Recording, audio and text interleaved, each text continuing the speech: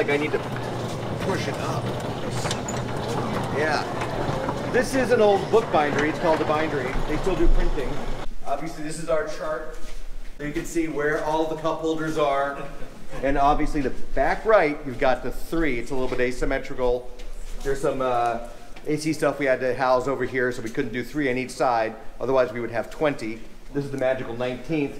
But also helpfully, uh, this will hold an iPad Pro, one of the larger ones in there too. So whoever the kid is in the back, he's going to have that, uh, that option as well. Um, here is the new Ascent. Um, in terms of styling, we focused on keeping it very Subaru-like, as you can tell. A much more bluff front end, though. A bigger grill, bluffer front end. Still with our Hawkeye headlights, the octagonal grill, which we've always had. So we wanted to give it a little bit more beefy appearance. But the one thing our customers clearly told us they want a bigger Subaru, not something else. You know, this one they want to look like a Subaru.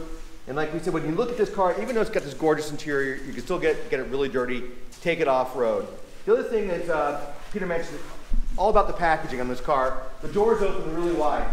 And when you, when you open the doors and you go in the rear seats, they're super light to touch and move. We know kids are going to be pushing those seats forward and backwards.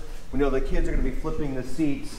So because of that, very simple, very light to use. We think we've really done a great job on making our interiors a bit better. And we've been knocking that in the past. We've really focused on improving that. Then, once again, packaging. Great rear seat legroom. Third row legroom is also really good. Those of you who are uh, serial Subaru spotters will notice something different on this vehicle, and that is this fuel door. You push that, it pops open. Every Subaru until now has had a little switch down by your, uh, below your foot that you've had to open.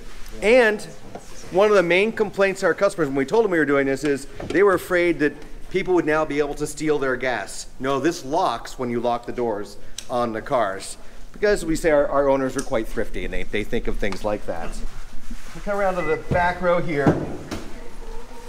Third row up, you can fit a dog carrier because it wouldn't be a Subaru if you couldn't bring along your pet. Very important for us. So it will fit this. And that was the other thing. One of the reasons we're about five inches longer than a uh, Highlander.